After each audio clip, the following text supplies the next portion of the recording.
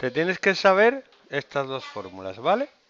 Con estas dos fórmulas, si te dan el seno de un ángulo, por ejemplo, el seno de alfa vale, por ejemplo, 0,4. Y te pide que saquen el coseno y la tangente. ¿Puedes hacerlo o no? ¿Mm? Con el seno de alfa, no sé si tu profesor lo habrá puesto así, seno cuadrado más coseno cuadrado igual a 1 y tangente igual a seno partido coseno. ¿Ha puesto algo así o no? ¿No? Pues aquí te dicen que el seno vale 0,4, es decir, que el seno es 0,4. Sabiendo que es el seno 0,4, puedes poner en esta fórmula que 0,4 al cuadrado más coseno cuadrado es igual a 1. ¿Vale?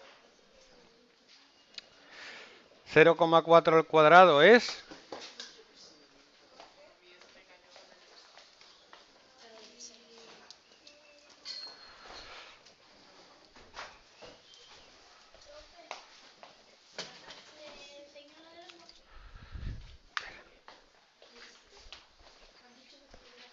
¿Te puedes poner a trabajar, por favor?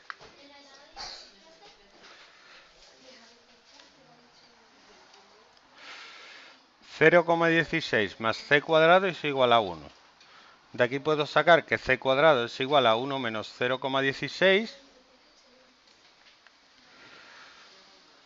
y el coseno al cuadrado es 0,84, así que el coseno va a ser la raíz de 0,84, que es 0,900 0,92 aproximadamente. Y de aquí puedo sacar la tangente.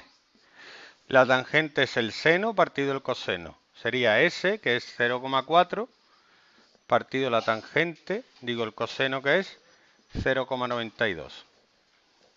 0,4 partido 0,92 es 0,436. Esa es una cosa de que te pueden pedir.